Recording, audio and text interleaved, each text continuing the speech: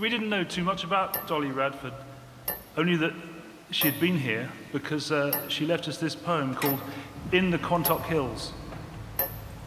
Here, autumn, like a flying bird that through the quivering foliage trills, comes swiftly in the night and stays a moment in these grassy ways among the hills. And with the day's awakened sun, oh, every golden purple mile, a finer radiance shows where she folded her bright wings graciously to rest a while.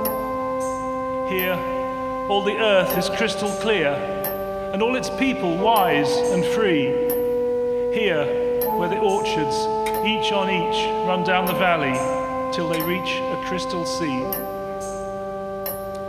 Thanks, Tim.